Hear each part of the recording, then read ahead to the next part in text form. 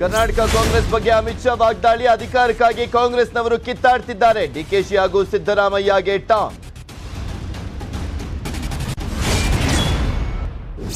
ಸಚಿವ ಅಶ್ವಥ್ ನಾರಾಯಣ ವಿರುದ್ಧ ಎಚ್ಡಿಕೆ ಸಮರ. ಬಿಎಂಎಸ್ ಟ್ರಸ್ಟ್ ಹಗರಣ ಪ್ರಸ್ತಾಪಿಸಿ ಪ್ರಧಾನಿಗೆ ಪತ್ರ. ಅವ್ಯವಹಾರ ಬಗ್ಗೆ ನ್ಯಾಯಾಂಗ ತನಿಖೆಗೆ ಮನವಿ.